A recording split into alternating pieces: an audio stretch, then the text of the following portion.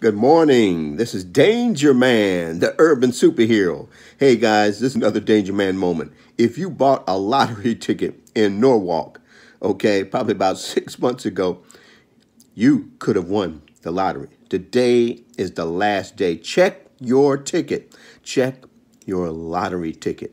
The lottery winner wins $26 million.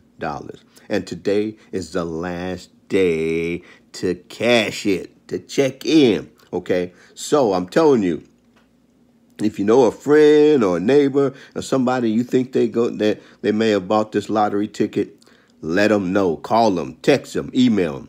Check your lottery ticket. Okay, call the lottery uh, people. Okay, uh, go on on channel five KTLA. The numbers are posted. Check it. You could be the winner. Okay. All right, guys. Don't let this go.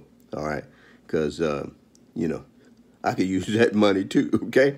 All right. Anyway, the Danger Man Urban Superhero. You guys have a great Thursday. Okay. Have a great Thursday. Be safe, and uh, talk to you soon. Uh, watch out for the freeway shooters. Okay. Man, this is crazy, crazy stuff out here. Okay. So if you see something, hear something, say something. Call the police. Be a crime stopper. All right. Love you guys. Peace.